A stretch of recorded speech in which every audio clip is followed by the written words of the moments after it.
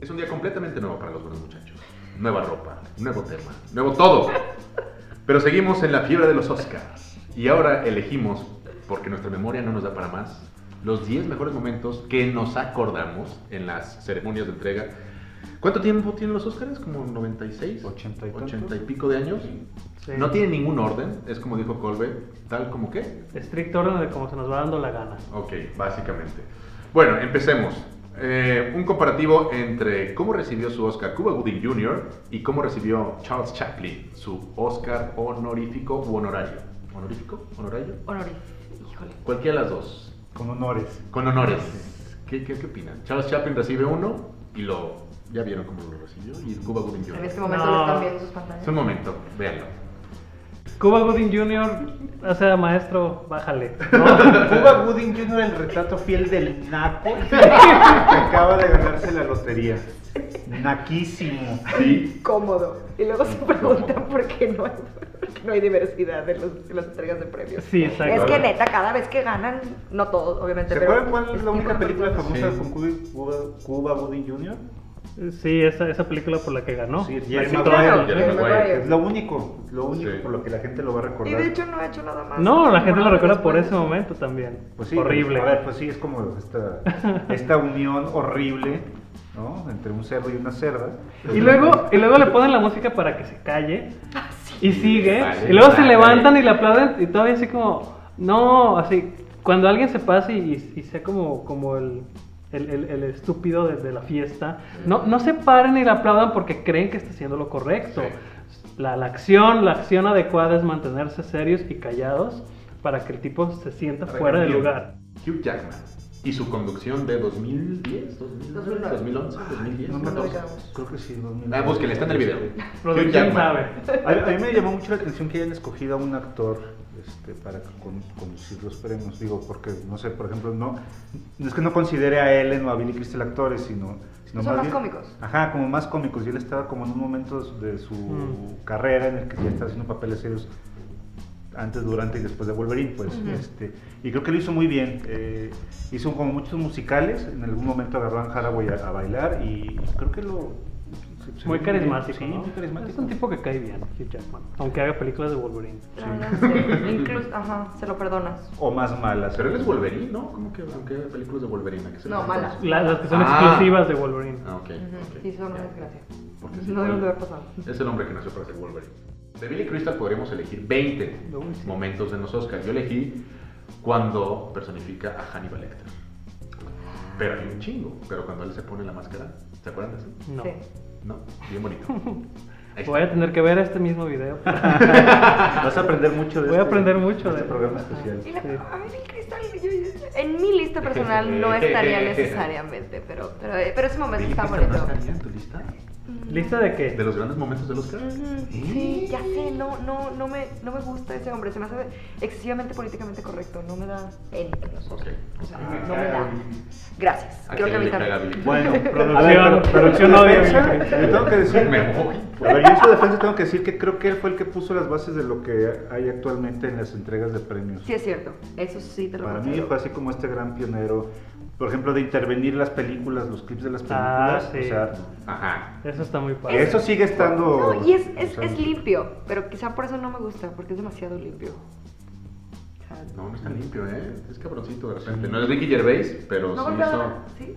Y hace chistes de negros y de blancos y de gays y de... Sí, no, sí los, ha- sí los hace, pero. Bueno, momento número 4. Anne Hathaway, guapísima, con James Franco, hasta el dedo de marihuana. Yo creo que sí se metió un churro bien cabrón Qué y un par de pastillas de ese día.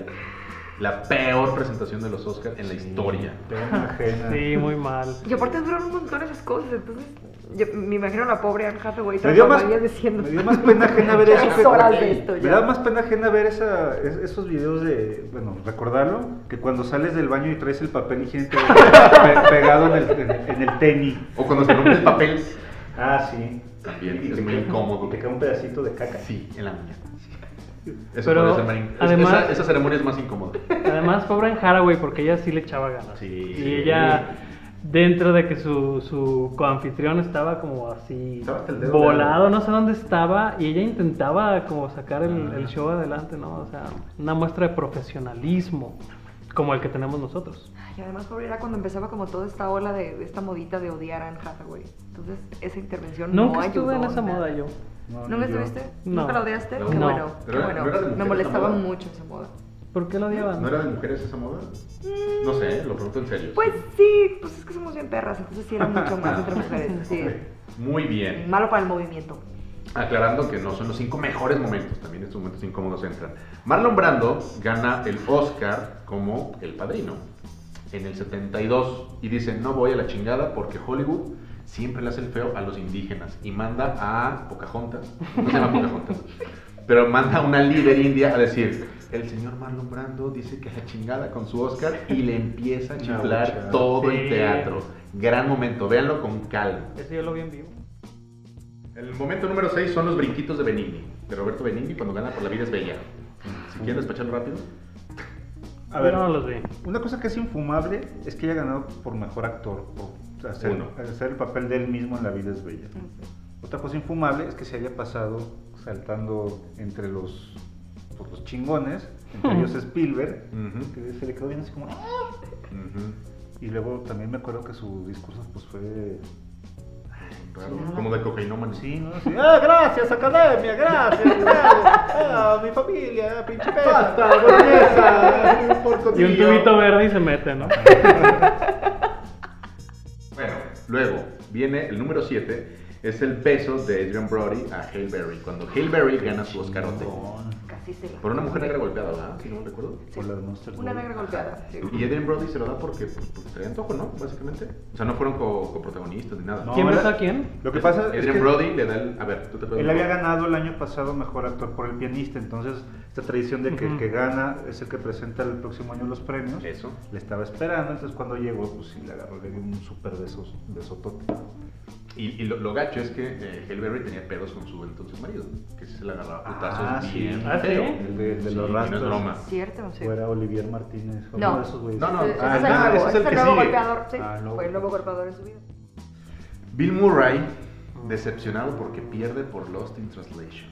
Me parece un Gacho. gran momento de una gran honestidad de un gran actor. De hecho, acabo de ver la noticia de que Bill Murray aventó, agarró los celulares de la gente que le estaba tomando fotos y se los aventó. Estaba en un restaurante, eso es, eso es real. Ah. Este, estaba en un restaurante y la gente le estaba tomando este, fotos, agarró los celulares y los tiró y luego eh, ofreció pagarles los celulares a cada persona. Eso. Entonces, que haga esa- ese puchero de que perdió, pues me parece muy Bill Murray. Pues, o sea, que no se guarde nada me parece fenomenal. Que además, francamente, era su última oportunidad de sacarse Ajá. Oscar. Y se lo ganó Sean Penn por Río Místico. Es- eso, es, eso es muy común con los Oscars, ¿no? O sea, ganan X películas, X actores y ya nadie se acuerda de esas películas. Y Además. la de Lost in Translation, ¿cómo, se- cómo se llama aquí? Tokio. Es en Tokio, Vivir en nuestros memorabilísima. corazones. Sí, claro. Pero Mystic River no es mala, ¿no? O sea, que te surra Clint Eastwood y te Me surra parece ese muy mal. dramatismo exacerbado. Yo odio a Sean Penn. Me parece todo un cliché esa película. Muy blanco.